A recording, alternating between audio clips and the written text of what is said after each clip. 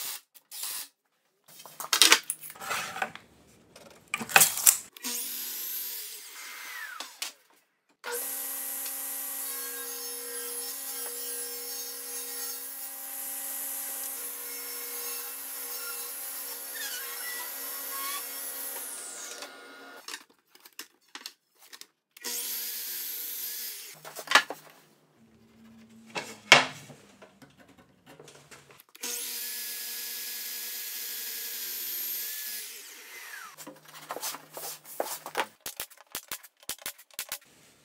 you.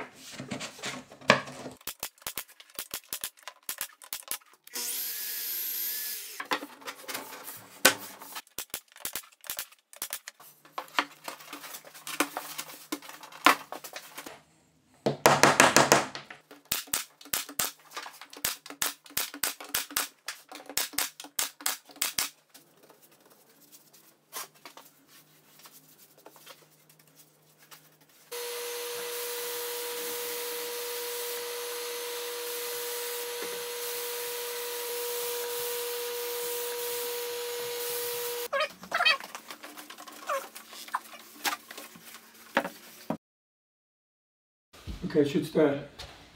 Well, that's good. That it'll get sucked up with the screws. Let's just take a look at. You're good.